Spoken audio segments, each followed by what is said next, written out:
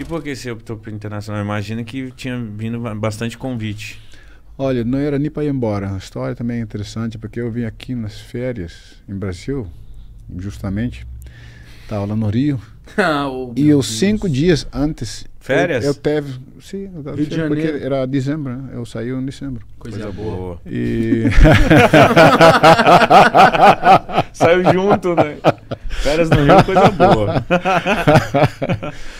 E eu conversei com o clube antes, com o presidente Santos, que faleceu, que descansa em paz. É, ele, ele falou, não, você não está devendo, pode ir em férias e a gente vê dia 10 de, dezembro, de janeiro, que seja.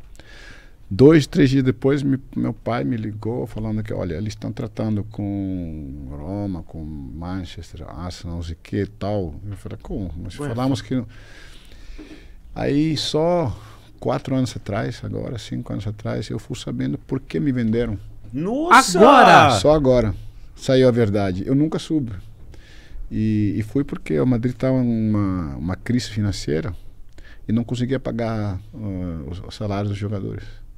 Aí você serviu pra. E eu tinha assim uma boa, né? Um valor de mercado alto. Exato. Você salvou o Real Madrid. Mas sem saber.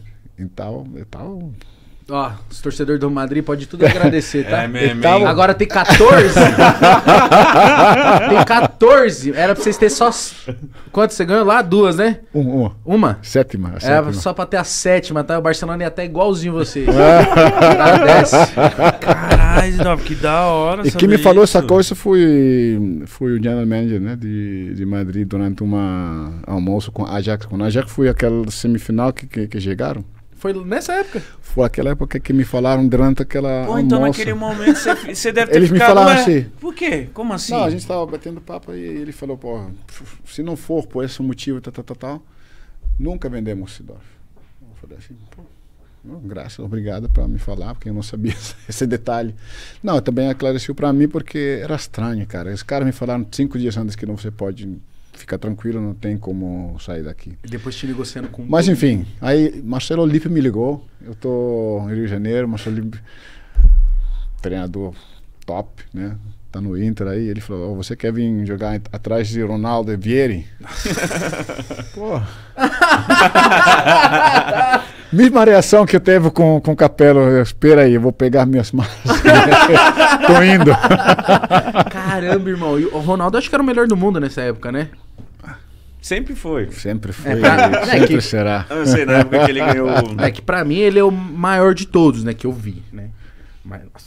É, ele- tamo junto nisso. Eu- Sério, irmão? Eu sempre falo. Ah, sim. eu- Vai no Google, vai ver minhas entrevistas que eu falo. Direto. É, ele era bem diferente. Foi mas- facinho jogar com ele? Não, espera aí. Ele falou, esse treinador me convidou. Eu aceitei. Fui lá, firmamos com tal. Perdeu o jogar. Ele ele estava recuperando, voltou. E aí quebrou depois de três jogos, acho que quebrou de novo. É, na final, machucou, acho. machucou. E então eu joguei dois jogos com Vieri e Ronaldo juntos, dois em dois anos. Vieri, Vieri, passe, pagou. Vieri cada cada cada mês e meio ele tava machucado.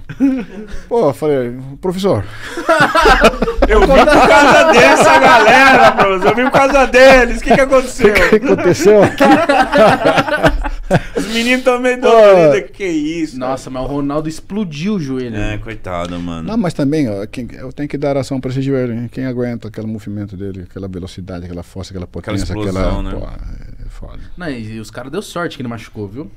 Por quê? Não, porque senão ele tinha ganhado tudo. É verdade. Não, com- É, não, não é- sorte é foda. Mas é tipo assim: você chegou Sorte lá, graça, você esperava e não foi, mas aí. Não foi, mas foi legal igual.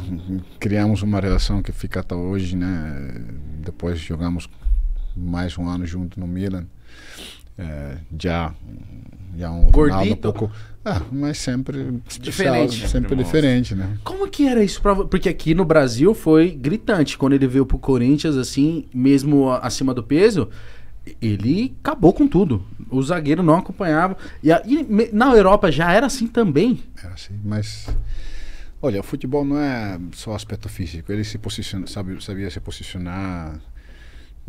Quando recebe bola, está sempre olhando o zagueiro já de frente. Então, é, para mim era muito diferenciado, muito diferenciado. Mas ele que precisava dar o passe.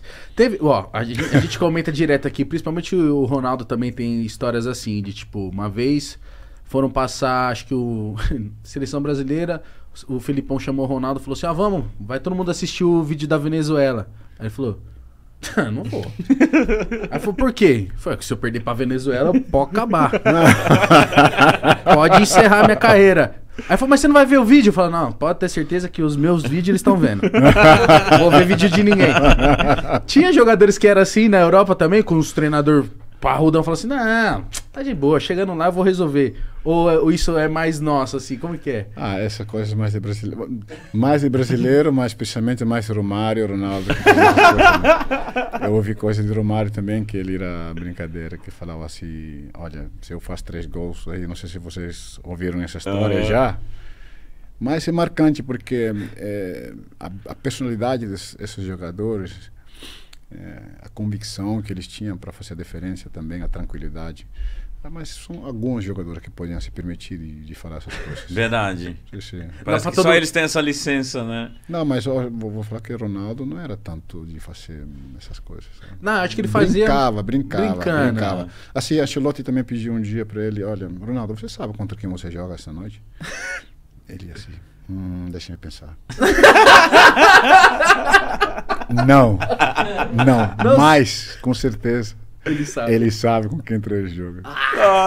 Isso é aí muito todo bom. mundo, é, não, mas dava uma noriçada aí todo mundo. Ah, isso é bom pra dar risada. É bom, bom demais. Então, já estamos falando do Brasil, eu queria saber como que era a preparação da Holanda, assim, quando sabia que ia enfrentar um Brasil. Ainda mais naquela época que o Brasil era a grande seleção. Era diferente, vocês entravam mais motivados também, porque a, a- também a geração holandesa, a sua geração, credo, pra mim, Ah, melhor. Porra, Melhor, melhor. não apareceu outra ainda. Tipo, não, teve a finalista de 2010, perdeu pra Espanha.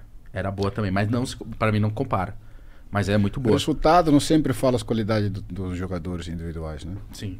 Isso, por isso eu sempre falo que você tem que acreditar que você pode chegar, independentemente da, da qualidade individual que você tem, porque o grupo no final faz a diferença, mas o Brasil era uma referência. Pô, aquele time também era incrível, né? Todas as posições, tinha Cafu, Roberto Carlos. Só esses dois. Pô, dá um trabalho, né?